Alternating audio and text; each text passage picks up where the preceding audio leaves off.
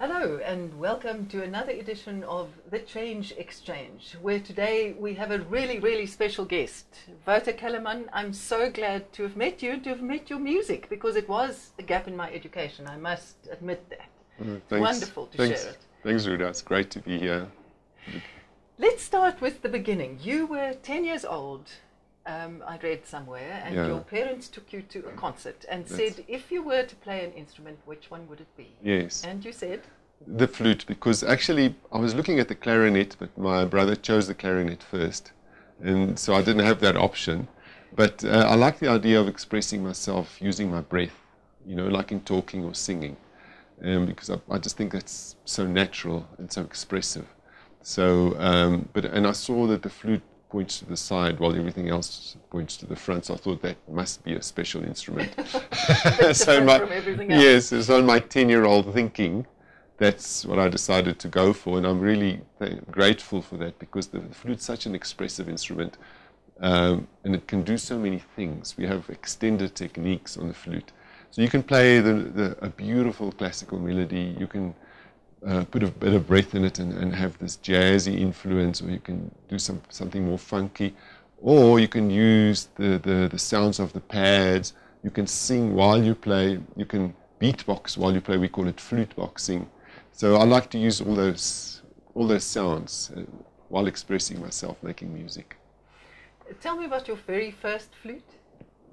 Yes, um, uh, you know, I um, was I couldn't wait to start, and my, my parents rented a flute, and um, then my the teacher was sick, so I couldn't have my first lesson, and my parents wouldn't allow me wouldn't allow me to put the flute together because we don't even know how to put it together, and they were scared I'm going to break it. So, so every day I would just open it and look at it.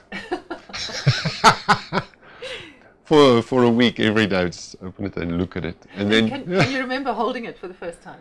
Yeah I was so excited when my teacher showed me and then I went straight back home after my first lesson and played for like two hours. And then after that I just fell in love with it. You know I was wondering afterwards whether the sort of um, looking at the flute for a long time and waiting for it uh, was instrumental in, in in my enthusiasm. You know that might be a good teaching technique. Why did you go and study engineering then? Because it sounds as if music was the thing. Yeah. Always. It was. Um, I always, I did love maths. That's my two talents are music and maths. Yeah, they often And say that they go together. They right? say so, yeah. So in my case, I did love maths and um, uh, I loved puzzles, um, you know, figuring things out. Um, but music was my first love. But when I left school, I wanted to go and study music, but we didn't have money to go and study. Um, but I could get a bursary to study engineering. So um, I decided to study engineering because that was my only option, uh, or not go to university. Um, and I enjoyed studying engineering as well, and I just kept on playing the flute. I thought, well, I'll study engineering and I'll just keep on playing the flute. And, um, and that's what I did. I, I was very active playing every day. You couldn't have had much free time because engineering is It a was- full-time job. It was very strenuous. It was very strenuous, but um, engineering was quite easy for me. Um, so I didn't, I didn't do that much studying. I did quite a bit of partying as well. so I managed to find lots of time um, to play. Um, I also enjoyed table tennis and tennis. I played. I started the university's table tennis club, and um, so you know, I was Busy just boy. I was very busy and enjoying all aspects. You know, and I think those things rub off on each other. You know, I think doing engineering has helped me in my music career, and I think playing sports makes you more um, coherent uh, being, and um, you know, I think that's also helped my musical career. How did engineering uh, help or support the music? Well, much later than uh, the business sense and the logical, because these days in the music industry, you can't just be a musician. Um, you have to, you, you're a business person looking after your music business. And that's more than 50% of the job. So you actually need those business skills and logical thinking skills. So you you had your own engineering company at one point. Yes, I, I, I had to go and work back uh, my bursary in Witbank on the coal mines in that center of creative activity. so I didn't enjoy Witbank very much at the time because there was there was not even one movie theater. so um, so I, I, was really wanted to get away from, from Witbank. So I, I started my own engineering business as soon as I could. Because also, you know, working on the mines, uh, you know, I left home at five. The, the bus would pick, pick me up, and I was at training, engineering training.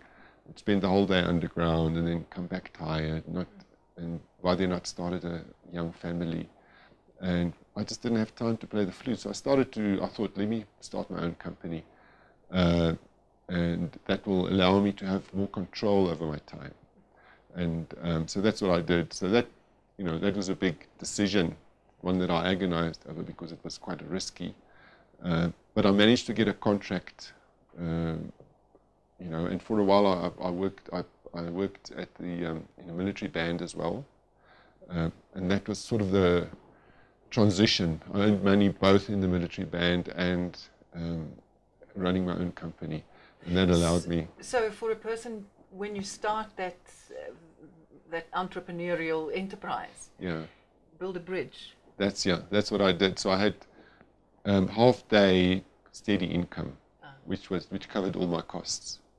Uh, but I did I did um, leave the engineering before I finished my bursary, paying back my bursary. So I had a lot of money to pay back. Mm. And um, at that stage, I decided why I, I really wanted to go and study the flute overseas. So I thought, let me make a quick fortune. I just want to do that. so while I started my engineering business, I thought, well, I'm going to invest on the stock market. And, and I asked my uncle, who was an expert on the stock market. He had done very well up to that stage. Oh dear. And Where is this going? yeah. So uh, I asked him for advice. I went to all the banks I could, and being a graduate and an engineer, um, I could get a significant of, um, amount of loans, and I invested it all in the stock exchange. But my timing was dreadfully wrong, because I, that was three months before Black Monday. Oh. you know, in, in, in 87, in October 87, the, the markets crashed and I, lo- I lost 90%. 90% of what I had loaned. How did you come back? And then after that, uh, the interest rates went up to 23%. I remember that. So I had to pay back all that money at that huge interest rate. And uh, I, just I just really worked very hard and um, rented a house. We, we stayed, me and my family, my, my, wife and my kids stayed in the lounge. We rented out all the, all the rooms in the house. so because we couldn't afford rent. And um, so it was a really tough period, you know. She couldn't have been impressed. no, she, she wasn't.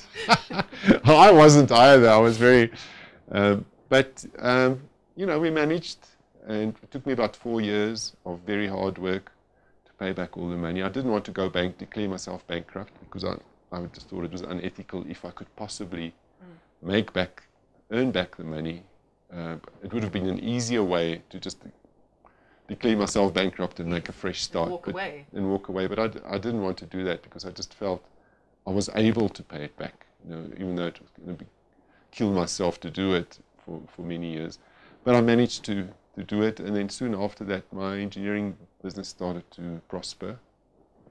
And uh, I took summers off, the European summers or, uh, or American summers, and traveled overseas to have master classes with the world's best teachers. It didn't cost quite as much in rand terms as it would now.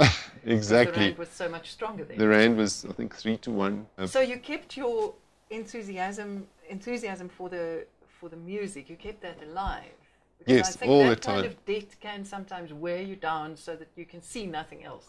Yeah, for a while I had to practice very little. I, I'd put the milk on the stove for my breakfast cereal pick up the flute, and as soon as the milk's hot, that's it. That's my flute playing for the day. but I never stopped, uh. even those three minutes. And that's, that's what I would say is my speciality, is inching forward. You know that I'm very good at that. It takes a long time, but you just make a little bit. And I don't know you're talking about big changes, but I, I believe the most powerful uh, tool for me is making small changes, and, and that's what kept me going. Those three minutes a day of flute playing kept me going and stopped me from like starting over, and mm. you know, and just keep it going, and in my mind as well, you know, because you dream about if you do something you dream about it at night and, and it grows, you know. So it's not just those three minutes that you do, you know. Yeah, it affects yeah. the rest of the day. Exactly. Yeah. yeah. Tell me about creating your first album, Colors. That took a number of years. Yes, it took a long time because um, from the engineering, I wanted to, after a few years of doing engineering, I decided let me do this change over to to full time musician and I just went all out and ran out of money after nine months, and I had to go back to engineering. And then after another four years, I did the same thing again, ran out of money again, went back to engineering for many years. And because you know, having a small family, um, my first priority was with the kids. Mm. So I wanted to look after them properly, and they were expensive to look after. So um, you know that, that and I didn't want to travel as well. I didn't want to be, be away, away, from be away from home.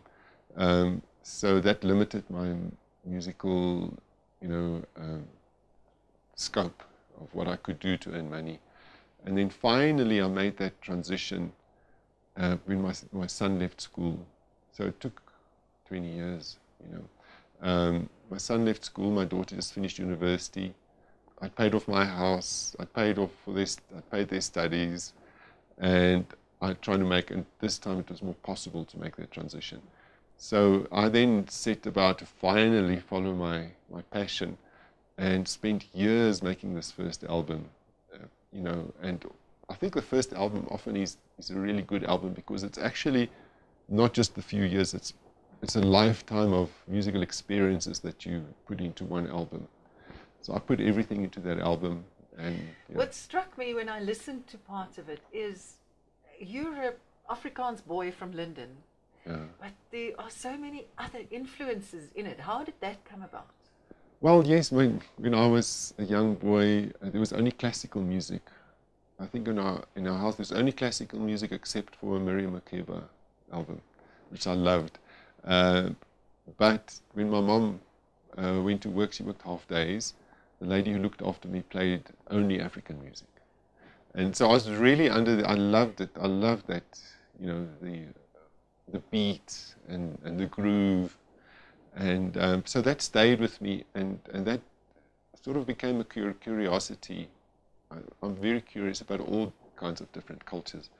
And I'm enamored by, by roots music from all over the world, you know, music that's been that survived centuries and that's been passed on from generation to generation. And that influence has something really special.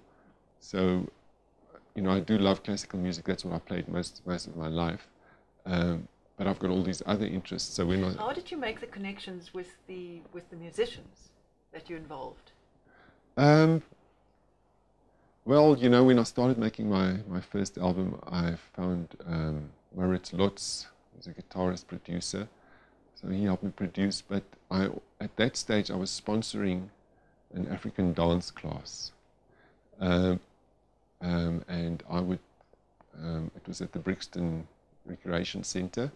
And I paid, I made sure that David Matamela, dancer, was teaching there every day. He was the guy who choreographed African Footprint. And I would go to that African dance class every morning and standing in the back of the class and trying to learn some steps and get into the vibe. And um, and then I met some dancers there um, that weren't musicians, but they were actually great natural musicians. So we, we started jamming, and I invited them to my house. We started making some music, and um, I was also at that stage um, doing getting into yoga, and uh, my guitarist and my yoga teacher is the same person. And uh, neither of us had ever improvised anything. We were both classically based. And we thought, well, why don't we try together to improvise something?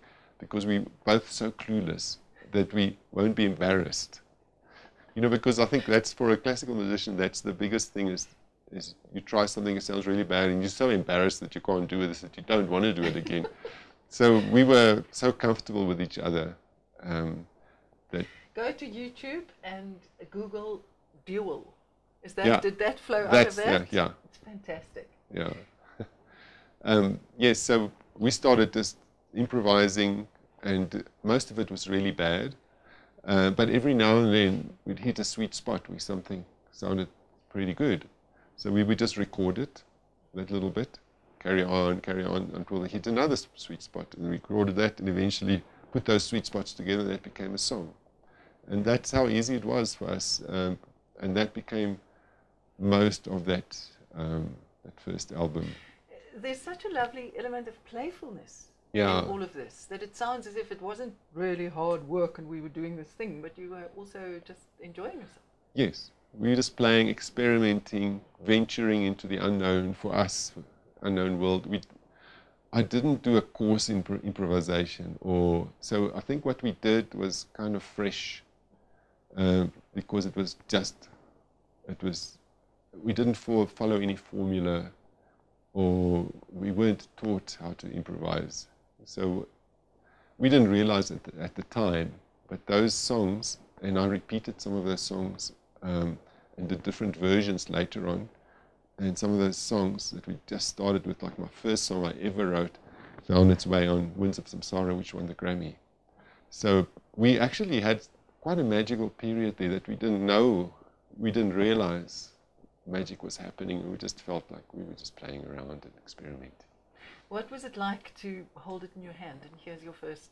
Your first did, was it still a CD then, or did Yeah, it just yeah. exist digitally? no, it was it was a CD. I was very proud of it. When when we finished it, I still wasn't happy, and I wanted to have it mixed by the best person in the world. So I, I, I sort of thought, who is the best person in the world that I would like this to mix? And then at that stage, uh, Norah Jones's big album uh, had just won eight Grammys, and I fell asleep to that music every day. And I looked and I said, well, who mixed this? And uh, it was it was an LA-based musician um, engineer, Husky Höskulds, from basic. He's, he, he's, he's an Icelander who lived in, and so I sent him the album. Thought he probably gets so many requests uh, that he probably won't even he will Yeah. file 13 it. But I got an email back saying I love the music, I, I love the experimental nature, I like the freshness. oh, that must have been. It was amazing. Amazing, It was amazing. And he said, it's already so well mixed, you actually don't need anybody to mix it. Hmm. So I said, no, I want you to mix it. so he agreed. I went over to LA, worked with him, and some of the, the songs, we couldn't get a better result than what we had. But the songs that I wasn't happy with, we could. And That says a lot about South African musical standards and South quality. African musical standards are really amazing. That's what I discovered over the years dealing. You know, um, I'm a Grammy voting member, and I get sent a lot of um, albums to vote on. And I think South Africa is absolutely world class. People don't realize it. You know, we, here we've got this tendency to say, well, this is just us. But we really have world class musicians, world class music. Um, but we don't do enough business wise to, to, to get it heard, you know. Um, but yeah, so we, we finished that album, and um, once finished, I sent it to the big major labels, and expecting them because it was, I thought it was an amazing album, uh, expecting them to fall over their, their feet, you know, to release this album, and none of them would even listen to it. There was one, there was one where we could get an appointment. The others just said, sorry. Uh, and the one we did get an appointment with, when we walked in there, he says, yeah, mm, you know, it's was nice, but it's not really our thing. And we saw that the CD was on his desk, still in its wrapping. So he hadn't listened to it. So nobody would even listen to it because they go, uh, we don't, flute album, no. And I was already in my 40s, so I was, it was a difficult time because I'm thinking, nobody seems to be wanting to hear a flute album. I've lost my, lost all my, uh, you know, my youthful sex appeal that could have helped. so so um, you know, so then we took it to the independent record labels. They also weren't interested. We eventually found someone who came that, and we could sort of combine and self-release. And, uh, And how did it sell? it actually sold pretty well. You know, um, um, it, it, it got fantastic reviews. You know, I still remember in the Citizen, it was my album, and then Santana's album. Santana's eight out of ten. Me, I'm nine out of ten. I saw. I still, that was my first review. I was really grateful for, for I'm that sure you recognition. have that framed against the wall. yeah. So, um, and that that album was nominated for a Sama that year. So, you know, started things started to happen. You know, people started to take note. and then Samsara, with which you would go on to, to win the Grammy. How did the connection with Indian music come about? Well, you know, I I used to uh, date a, a girl from India, um, and she introduced me, as well as Tulsi, my manager is Indian. Uh, they introduced me to the Bollywood music and the Indian music, and it's just music that I had been listening to for a long time. So when I my first two albums I entered for for Grammys, and even though I thought they were great, they got absolutely no attention um, in the US. And I realized what you have to do is you have to go and tour there and do a lot of marketing on top of having a great, a great musical album. Yeah, because you have to have an awareness. Yeah, be, be- because people don't know it. There's a whole uh, huge amount of, of, of voting members. Um, I think um, 20, um, 12,000, 12,000 voting members, all musicians. That's how the Grammys work. You voted by your peers. Um, but if they, they, there's 22,000 entries every year around there. Sure. So, they, So they're not going to listen. listen to everything. No, you can't Yeah. listen. So if, if, if you haven't done some touring, if, if there's not awareness, even if you have a great album, you're not going to get there. But part of the one of the fringe benefits of being part of this whole Grammy uh, process was I, I was listening to a lot of other music, and other people were listening to my music. And Ricky Kej from Bangalore had just also entered his album uh, um, into the Grammy process.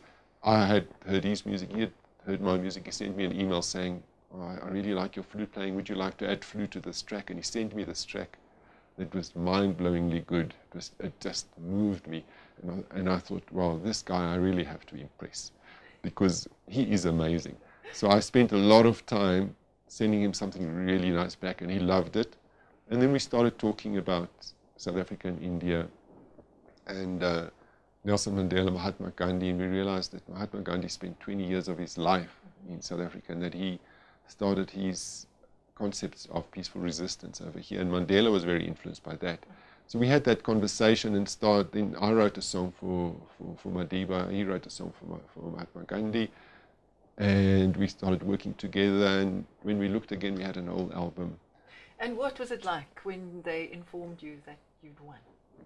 Well, first it was the nomination. We didn't, you know, nomi- my dream was to get a nomination. So one enters, and then there's a kind of shortlist, and that's the those Yeah. are the nominations. You enter, then there's a short list of, first there's a, a short list of about a few hundred, um, and then people vote, the whole, and then they choose five.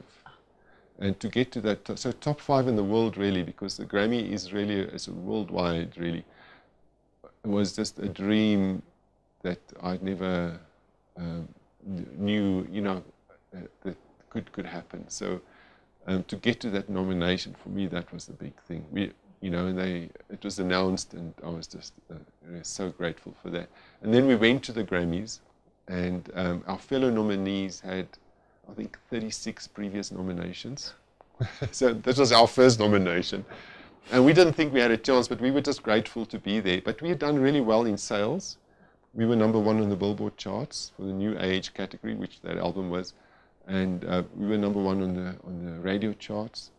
And because by then in the US. in the US, by then we'd figured out I was touring there. I played Carnegie Hall that year.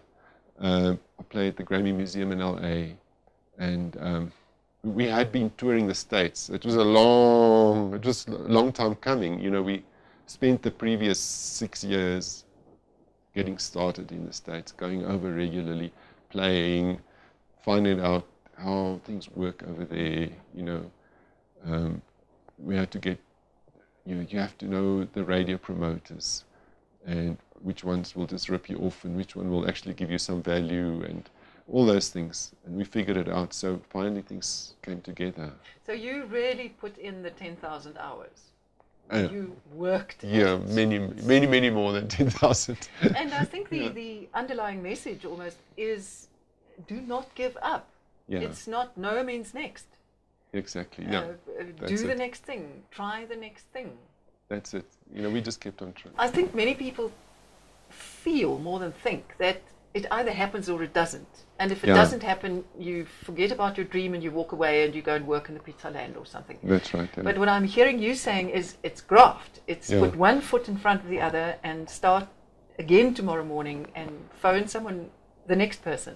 Yeah, no, that's very much that's what playing a musical instrument teaches you, and that's what I've I found that playing a musical instrument has a profound effect on, on you because, you know, when you play the flute or any instrument, when you can't do something, you practice until you can do it. So when you can't do it, your the way of thinking is, oh well, I can't do it today, but I'm just basically working at it, and I'm and then you see, oh well, a week later, a month later, or a year later, now I can do it. And that's such a big life lesson because in life, I found, even in my engineering company, I ended up employing musicians because they understood this. Uh, while many other people did not understand, they, they, they try something, they can't do it, they go, well, I can't do it. You know, and that's the end of it. So I think music teaches you, sport teaches you that as well.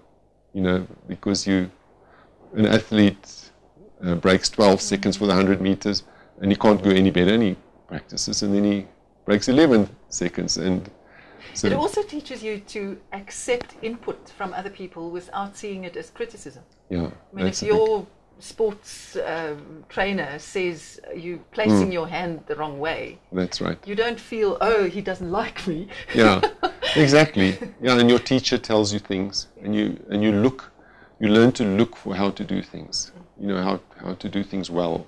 You research it. You know you don't depend only on your teacher. You you know looking for other teachers other advice experimenting and i think that's a really big life lesson So now you have another entry in uh, the, the Grammys for 2015, and you promised to play us something. Yes, um, well, I actually entered uh, the, the next album, Love Language, um, entered it last year, and this time it was in the contemporary instrumental category, which is a more competitive category than the New Age because all instrumentalists in the world are up for it. So that's you know all guitarists, all pianists, all sax player, all violin players, all going for that one award. Um, so when I then we got to the top five. Um, so that was really When uh, was that announced? that was announced in December last year, and then we went to the Grammys again in February. But this time uh, I didn't I didn't win it. Uh, there's Snarky Puppy, uh, which is a great band, 40-piece band. They collaborated with um, the Metropole Orkest, which is a Dutch, um, the, mo- the the biggest professional orchestra in the world, and they had been nominated 16 times before. So they were just uh, they were just too good, and they had a great album. And uh, so I was very happy to lose to them. I was just very happy to be mentioned in the same breath. And the, the song that you said you were uh, going to play, you say there's a backstory to it. Yes, um, well, this is this is um, uh, a song that I wrote for Madiba. It's called "The Long Road," and it describes his life with the colours of the flute. So it starts off with him growing up in his rural Transkei, where he's very close to nature and spent some time herding cattle. Uh, when I was writing this song, I was thinking about him sitting by his cattle, listening to the beautiful sounds of nature, which even then must have been tinged with a touch of sadness, showing what was to come in his life. And then in the next section, he moves to the city, and the peacefulness of nature makes space for the hustle and bustle of city life and a train of events that would take control of his life. In this section, I use all kinds of extended techniques to show those, those moments. And in the last section, he retires, finally has time to be peaceful again and spend with his family. And the piece ends on an unfinished note showing that even though his life is over, his memory and influence will carry on and sustain us far into the future. Will you play some for us, please? Of course.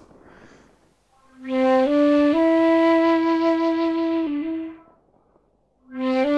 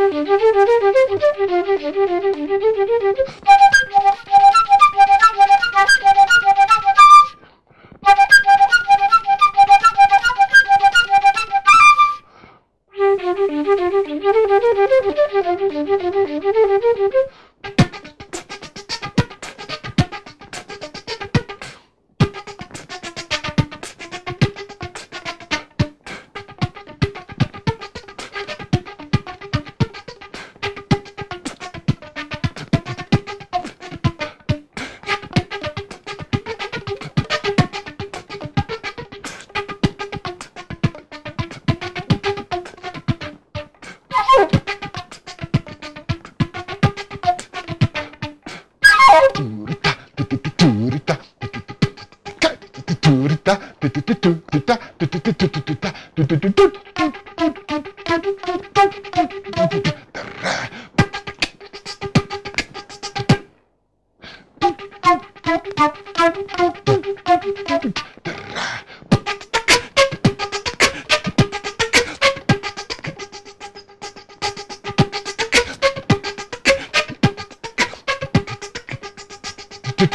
durita, durita, durita, durita, durita, durita, durita, durita, Oh,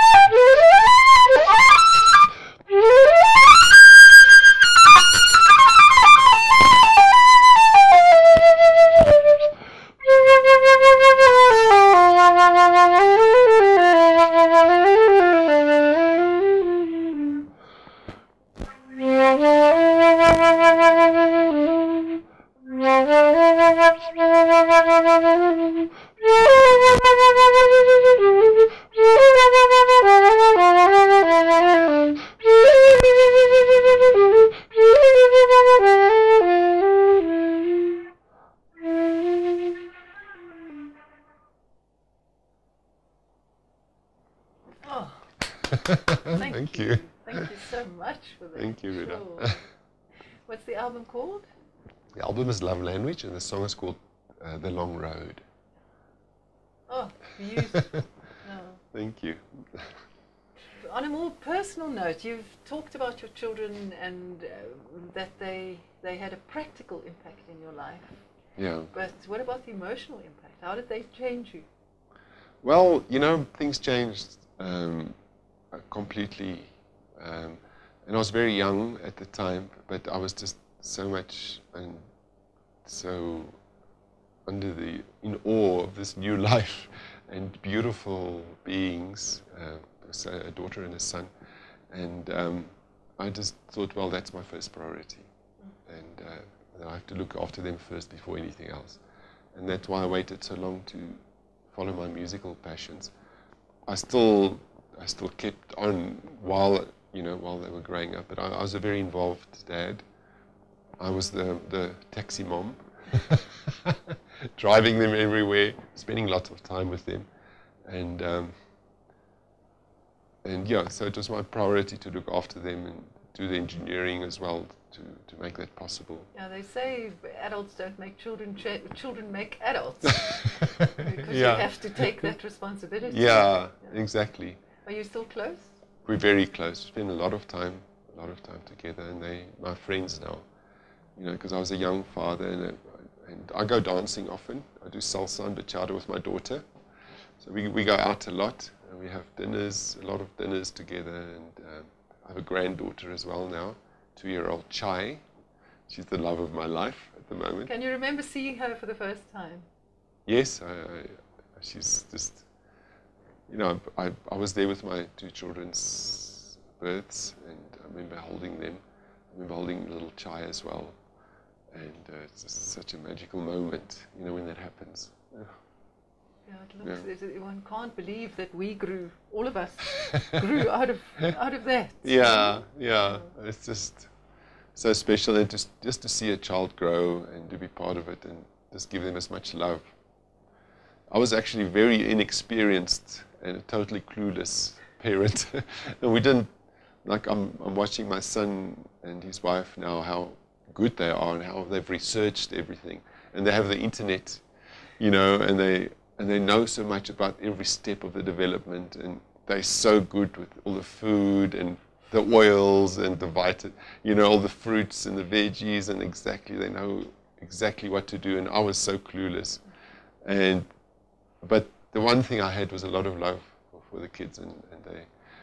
I, I thought my, my my goal was to, I think, to teach any child two things are, in my view, very important. The one is how to be loving, and uh, the other one is how to be responsible, you know, and not blame everything if things go wrong in the world and believe you're a, you're a victim of circumstance. So that kind of attitude, I, I think, is not healthy for anybody to have. So that was my two things I tried to teach them, mm. and they're both very loving, uh, and uh, my, and and they. My son's very responsible because he's got a little baby. My, my daughter's a free spirit. she, she, um, um, but yeah, they, I'm still in awe, awe of them. and at home, uh, you travel so much. What's the best thing about coming home?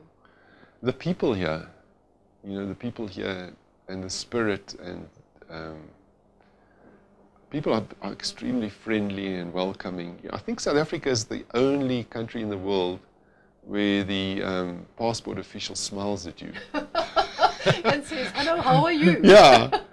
I, I, haven't actually seen that anywhere else in the world. And I've traveled many, many places, but it's a very serious process when you go through the, the passport. And you always feel a little bit uncomfortable moving. You're like, and are they going to allow? Yes.